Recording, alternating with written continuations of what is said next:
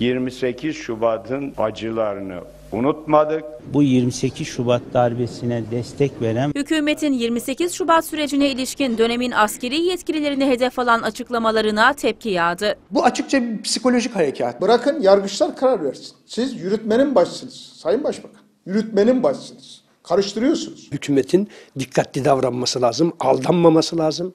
Sonradan yine, yine, yine kandırıldık dememesi lazım. Hak ettikleri en ağır cezayı alacaklar. Kumpas davasında yargılanan sanıklar en çok tepkiyi Başbakan Binali Yıldırım'ın bu sözlerine gösterdi. Halen yürümekte olan bir yargılama üzerinde bir baskı. Böyle mahkeme üzerinde bir baskı yapmaya hiç kimsenin hakkı yok, yetkisi yok. Başbakanın bu açıklamasının ardından kendimi orta çağda hissettim. 15 Temmuz'da tanklarla sokakları işgal etmeye çalışan hainlerle 28 Şubat'ı planlayan darbe kardeşleridir. Kumpas mağdurları Başbakan Yıldırım'ın 28 Şubat'la 15 Temmuz'u bir tutan açıklamalarına da sert çıktı. 28 Şubat'ın o atmosferinde yurdu terk etmek zorunda kaldı Fethullah Gülen. 28 Şubat döneminde alınan kararlar aynen korunsaydı, takip edilseydi ne FETÖ olayı olurdu ne 15 Temmuz olayı olurdu. Bakın bu davanın iddianamesini hazırlayan savcıdan tutun da davaya bulaşan tüm hakimler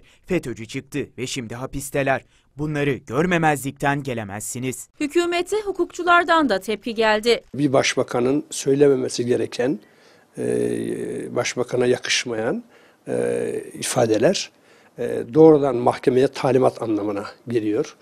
E, o bakımdan kabul edilemez bir e, açıklama. İki defa bütün delilleri çürümüş, cemaatin son kumpas davasında siyasal iktidarın etkisi, baskısı zaten hissediliyordu. Başbakanın bu açıklamaları da bunun üzerine tüy dikmiştir. Ergenekon ve Balyoz gibi kumpas davalarında mağdur edilen isimler de FETÖ'cü savcıların iddianamesini hazırladığı 28 Şubat davasına sahip çıkan AKP'yi eleştirdi. Bu tür bakış açısı neticede uzun vadede FETÖ'nün bir anlamda aklanmasıyla sonuçlanabilecek tehlikeli süreçlere yol açar. 15 Temmuz'u yapanlar 28 Şubat e, iddianamesini hazırlamışlardı. Bu arada 28 Şubat dönemine ilişkin açılan dava 2 Mart'ta sanık savunmalarıyla devam edecek.